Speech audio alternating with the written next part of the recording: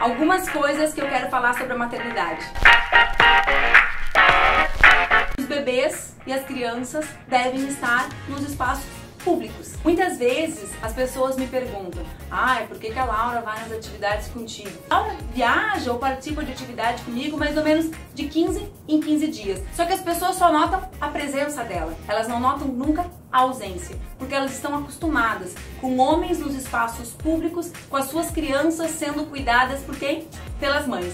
É óbvio que as nossas rotinas de trabalho nem sempre são adequadas à presença de uma criança ou de um bebê. Mas também é óbvio que quando nós temos atividades que começam às 7 da manhã e às vezes acabam só dois dias depois, as crianças têm que ser bem-vindas, porque as crianças não serem bem-vindas significa a não participação das mulheres. Então, quando estiver naquele seminário, naquela aula, naquele evento em que uma criança chora, por favor, não seja aquela pessoa que olha com a cara feia, seja aquela pessoa que pensa, poxa, que massa, essa mulher conseguiu enfrentar o meu olhar, o olhar dos outros e veio aqui assistir algo que era de interesse dela. Aqui no Rio Grande do Sul, eu sou autora da lei, junto com o deputado Mainardi, que garante a amamentação no espaço público. Para nós conseguirmos ter uma vida enquanto amamentamos, nós precisamos ter o direito de amamentar em público. Se eu não posso amamentar em público, se eu tenho que amamentar exclusivo até os seis e depois até os dois, onde eu vou estar? Sempre trancada em casa? Não. Lugar de mulher é onde ela quiser. Inclusive, passeando com o bebê a tiracolo no shopping com ele mamando, se assim ela quiser. As licenças maternidades também precisam ser discutidas.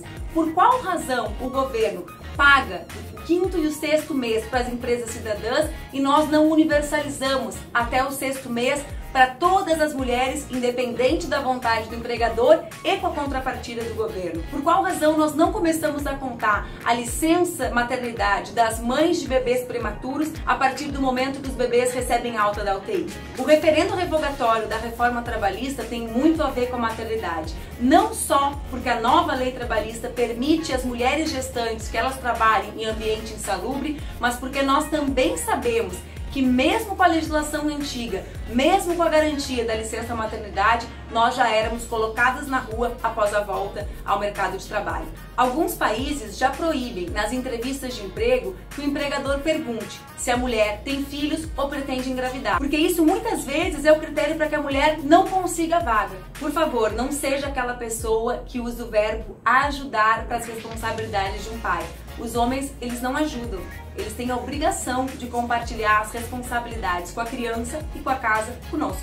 Eu sonho em viver num país em que as mulheres não sejam incentivadas a fazer cesarianas desnecessárias e que também não sofram com a violência obstétrica.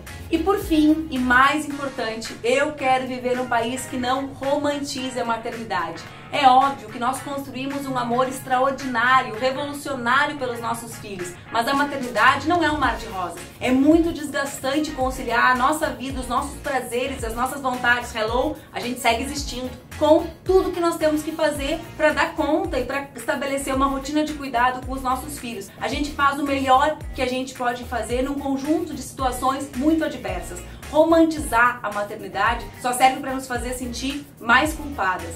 Então eu quero desejar um bom dia das mães para as mães que gritam, que choram, que conseguiram amamentar, que não conseguiram amamentar, que fizeram cesariana por necessidade, que tiveram o seu parto normal, para as mães que são biológicas, como eu sou da Laura, ou de coração, como eu sou do Guilherme, para as madrastas, como eu também sou, para os pais que compartilham responsabilidade com as pessoas que estabelecem afetos. O dia é das mães, mas nós defendemos que seja um dia da família. Por quê? Porque no nosso mundo cabem todos os tipos de família.